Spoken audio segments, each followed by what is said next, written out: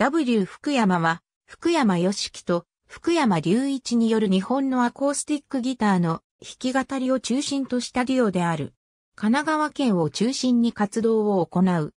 福山よしき、福山隆一、ともに福山姓で神奈川県出身だが血縁関係はない。名字だけではなく年齢も同じである。1990年代、中村祐介が主催するブルーズシティにて、それぞれのバンドハミングバード、マミーとして活動をしていたが、共同での音楽制作を行うことはなかった。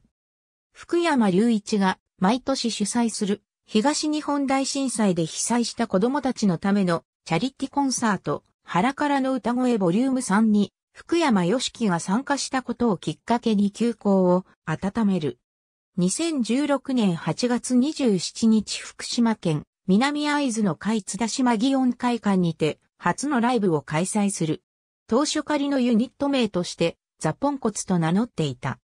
正式にユニット名を W 福山と改め、2017年4月1日、ファーストシングル、ホームアゲイン C、W 夏の終わりに、を発売、同日新横浜ベル S を皮切りに、W 福山ライブツアー2017、ポンコツ旅ガラスを開催した。以降定期的にライブやツアーを行っていたが、2020年に新型コロナウイルスの影響を受け、ツイキャスでの配信を中心へと活動の形態を変化させている。ユニット名には採用されなかったものの、ポンコツは曲名や歌詞等々、また MC では使われないことがないほど品質する重要なキーワードとなった。ありがとうございます。